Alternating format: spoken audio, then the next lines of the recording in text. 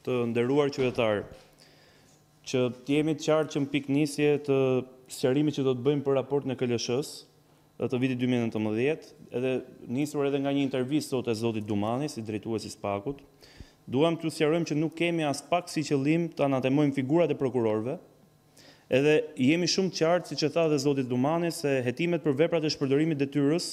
apo dhe korrupsionit kërkojnë kohë për t'u hetuar dhe metoda speciale. Por faktet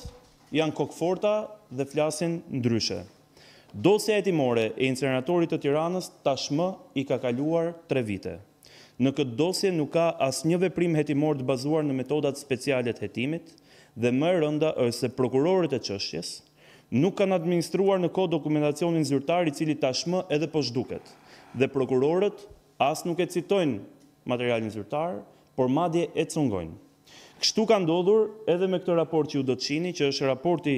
i Kontrollit të Lartë të Shtetit, të cilin do t'ju paraqisim disa fragmente sot, që është studiuar nga grupi ynë i ekspertëve. Siç e shihni është raporti konfidencial, është raport përfundimtar i auditimit në dhjetor të vitit dy mijë e nëntëmbëdhjetë.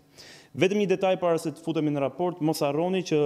Në vijim të asaj që thamë pak më parë, Prokuroria e Elbasanit pat regjistruar dy procedime penale për këtë grup të strukturuar kriminal dhe ka kryer përgjime, të cilat në fakt janë administruar në dosjen e Arben Ahmetajt në korrik të këtij viti nga vetë zoti Dumani dhe për aferën më të madhe të shekullit që është inceneratori i Tiranës që shkon në një miliard euro kjo aferë nuk ka asnjë përdorim të metodave speciale.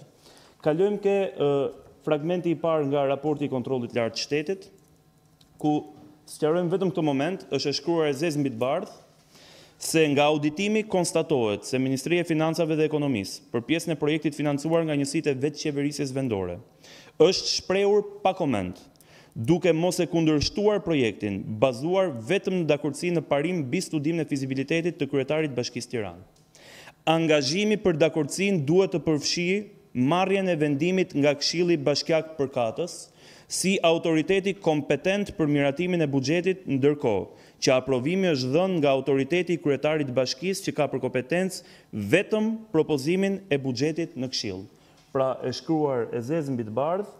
Që në këtë moment Erion Veliaj ka shkelur ligjin për Vetëqeverisjen Vendore, pasi ai ka të vetmin autoritet dhe kompetencë propozimin e buxhetit në Këshill Bashkiak dhe duhet të jetë Këshilli Bashkiak i cili voton dhe merr vendimin për angazhimin financiar. Kalojmë në momentin e dytë.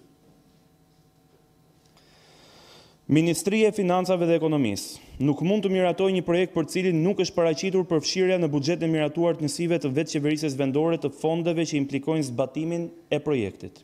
Miratimi i buxhetit të njësive të vetëqeverisjes vendore kryhet nga Këshilli Bashkiak, sipas përcaktimeve të bëra në Ligjin numër njëqind e tridhjetë e nëntë të vitit dy mijë e pesëmbëdhjetë për vetëqeverisjen vendore,